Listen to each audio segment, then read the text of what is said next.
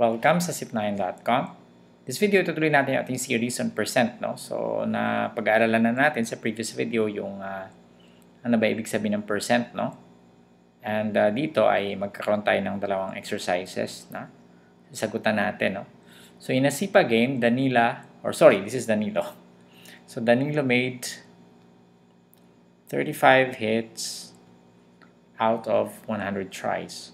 Express, express the ratio of hits to the number of tries that need to be made as yung 1 yung fraction, 2 decimal, and 3%.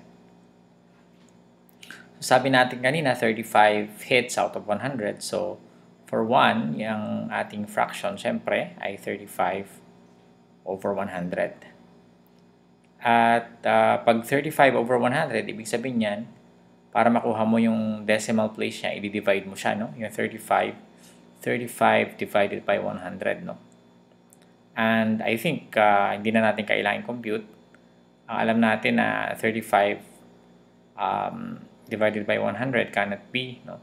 So magdagdag tayo ng decimal point, no? Dito. And this is 0. And then uh, we have uh, maglalagay tayo ng 0 dito and uh, 350 divided by 100 is 3. Sabi natin, hindi tayo magko-compute. Ano? But, again, nag-compute tayo. So, 300.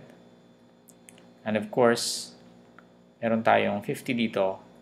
Maglagay tayo dito. And we have 0.35. No?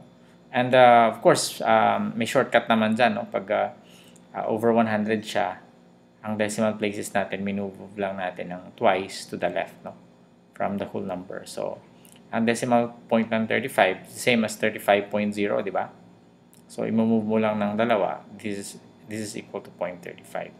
So, yung sagot natin sa number 2, no? ang number 2, ang sagot natin ay 0.35. No? I think napag-aralan na natin yan, but then uh, this is just a review. And of course, sabi natin ang in percent, no? Sabi natin ang uh, one way to represent a fraction whose denominator is 100 is a uh, percent. No? So 30, 35 over 100 is 35 percent. Okay? So there, sa pangalawang uh, pangalawang problem natin, there were 50 workers. Of these, uh, 35 attended the town fiesta. What part of the number of workers went to the town fiesta. Express this number as a fraction, a decimal, and percent. So dito, ang fraction natin is 35 no out of 50, di ba? Yung kasi yung total natin. So our fraction is 35 out of 50 or 35 over 50.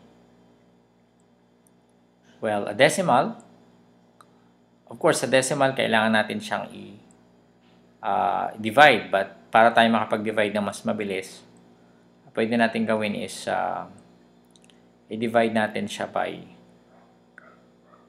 gusto natin mag, mag madali siyang i-divide, di ba? So, para madali i-divide, pwede natin siyang i-divide by 5 para 10 yung magiging denominator niya, no? Of course, you can uh, you can also so magiging uh, 35 So 35 over 50, no? we divide 5 para maging lowest term siya. That is equal to 7. 5 over 5. This becomes 7 over 10. Or, again, sabi natin kanina kung dalawa yung 0, i-move lang natin yung decimal point to the left. Dito isa lang yung 0, kaya magiging 0.7 siya. No? Isang decimal place lang from the right. Right to left. No? To the left hand side. Okay, so what about yung percent, no? So pag marunong na kayo mag-decimal to percent, uh, pwede nyo yung gawin, but then we will we will focus on this sa fraction. Sabi kasi natin kanina, pag sinabi mong percent, no? Review lang, no? Pag sinabi mong percent, 'di ba? Out of ibig sabihin nito is out of of 100. No? Pero dito sa 35 over 50, out of 50 lang siya. So, ano pa pwedeng gawin natin para maging out of 100? Magpa-plus pa tayo ng 50 o magta-times 2 ba tayo? No? So, pag nag-times 2 tayo, actually magta-times 2 tayo, hindi tayo magpa-plus 50, no? So, ang pwede lang natin gawin para sa fraction, magta-times 2 tayo on both the numerator and the denominator or mag-divide.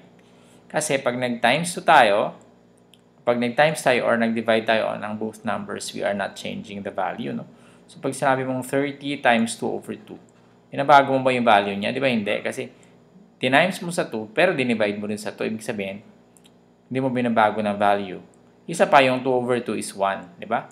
So 2 over 2 is 1. So it's just saying that 35 over 50 times 1. It's the same, no? Pero pag nag-plus ka, hindi pwede yan, no? Magiging 85 over 100 na, magiging iba na yung value niya. So we multiply both the denominator and the numerator by 2. So this becomes 70 out of 100. Out of 100 na siya, so pwede na natin siyang sabing percent.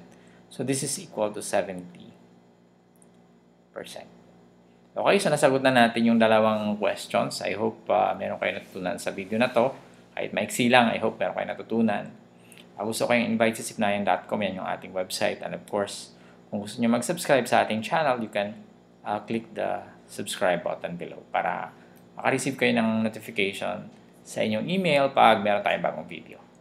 Maraming salamat and see you in the next tutorial.